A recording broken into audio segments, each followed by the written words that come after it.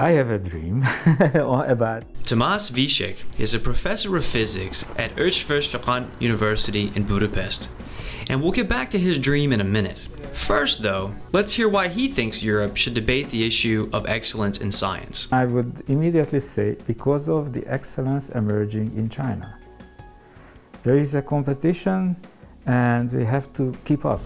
Professor Vicsek and his team research how every living organism, from bacteria to pigeons and humans, move in certain collective patterns.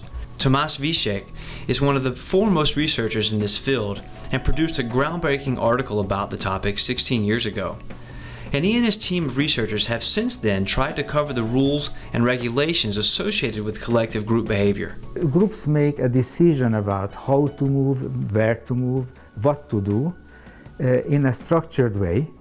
There are always uh, uh, people or animals who know better which way to go and it's uh, arranged in sort of a hierarchical manner. By the end, we get out a single number, a measure of a hierarchy. Research funding is very modest in Hungary, and Tamás Vicsek doesn't disguise the fact that he never would have come this far without the ERC grant he received in 2007. My possibilities just multiplied greatly. So now I can carry out experiments which are demanding both uh, from the point of workforce and uh, material, you know, support. And I have to tell you, it gives me wings, you know, it gives me wings.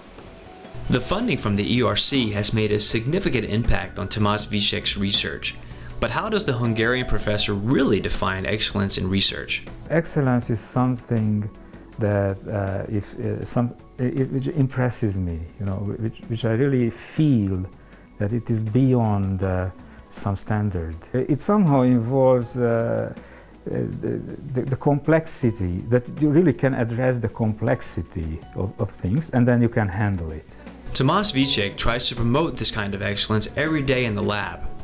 Research in collective movements of organisms is by definition multidisciplinary, but according to Tamás Vicsek, you also need to listen to the best specialists in order to achieve excellence. In my team, there are always the specialists of some aspect of the, and I think this is what helps me to achieve results. You, you create extra knowledge, perhaps excellence, uh, if you sum up in a non-linear, you know, in a positive feedback way, the knowledge coming in from various disciplines. Talking from experience in his own lab, Tamás Vicsek has a simple recommendation on how to advance excellence in European research. In Europe, the best way to promote excellence to give chance to scientists who are the best, who are the most excellent.